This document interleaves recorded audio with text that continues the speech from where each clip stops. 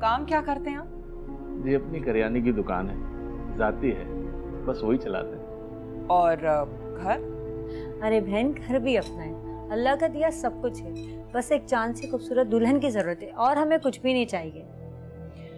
मेरी भी दो ही शर्तें हैं। पहली ये कि निकाह अगले हफ़्ते होगा और बिल्कुल सादगी से होगा। और दूसरा ये कि इनकी शादी और बच्चों के बारे में कोई ज़िक्र नहीं होना चाहिए। जी जी नहीं करेंगे। आप लड़की को तो बुलाइए। बुलाती हूँ। लाइबा बेटा ज़रा एमल को बुला के लाओ। लड़की माशाल्लाह बहुत खूबसूरत है। आप देखेंगे ना देखते ही रह जाएँगे।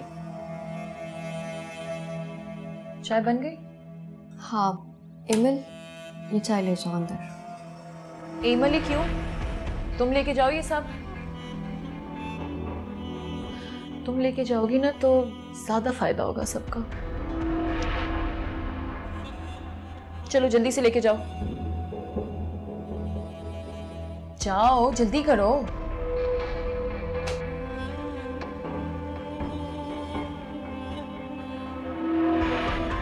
जल्दी करो क्यों खड़ी हो यहाँ पे? जल्दी करो। वैसे आपने बताया नहीं आप लड़की की क्या लगती हैं? कुछ नहीं बस यतीम गरीब लावारिस लड़कियाँ हैं उनको हमदर्दी में रख लिया है उनका निकाह कराना चाहते हैं। अल्लाह करे कुर्बान को लड़की पसंद आ जाए। जिस तरह आप नेक काम कर रही हैं आजकल ऐसे लोग कहाँ करते हैं? राबिया जी वैसे भी ऐसे नेक काम बहुत करती रहती हैं। और गरीब औरतों के मसले तो मिनटों में सॉल्व करती हैं।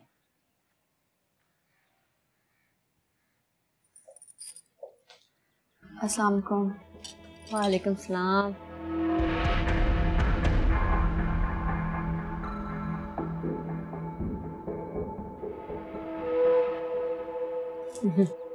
हाँ, हमें लड़की पसंद है। इस नेक काम में हम आपके साथ ज़रूर शामिल होंगे। यतीम बेसहारा को सहारा देना तो हमारे नबी की सुन्नत है। ठीक है हमारी तरफ़ से रिश्ता पक्का समझे। बस ये बताएँ हम निकाह किस दिन कर? निकाह का मैं आपको एक दो दिन में बताऊँगी लेकिन इतना मैं बता दूँ कि अगले हफ़्ते ही होगा। जी हमें इंतज़ार रहेगा। वैसे हम रिश्ता तो पक्का समझे ना? जी जी बिल्कुल बिल्कुल पक्का समझे। तैमूर आप? अच्छा वो आप आ गए। ये लोग अम, क्या हो रही है? तुम एमल और आयजा का रिश्ता तय कर रही हो? आप एटलीस्ट रिश्ता तो देख लें। लड़के से तो बात कर लें। लड़का? तुम इस उधेड़ उम्र आदमी को लड़का कह रही हो।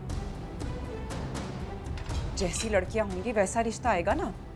मुझे तो कोई बुराई नज़र नहीं आ रही इसमें। आज तो मैं आयसा का रिश्ता पक्का करके ही दबूँगी। राबिया ये रिश्ता नहीं होगा। बात खत्म। आप लोग प्लीज़ यहाँ से जा सकते हैं। कोई नहीं जाएगा।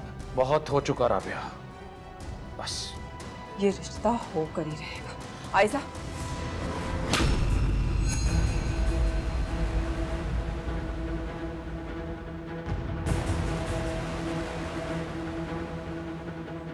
अ- अ- अरे चलो चलो। इनका तो मसला ही कुछ और है। चलो।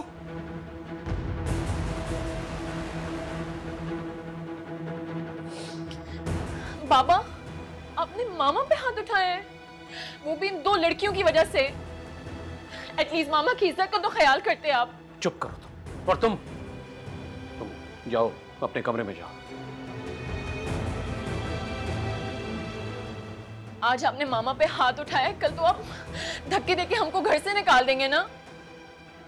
मेरी और मामा की तो कोई इम्पोर्टेंस ही नहीं है इस घर में। शर्म आनी चाहिए तुम्हें।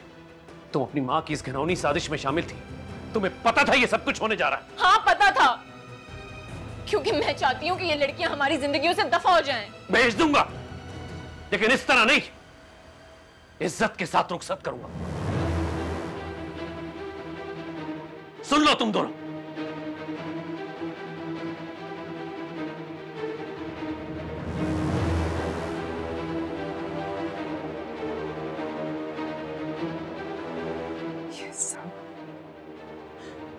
उन दोनों का किया रहा है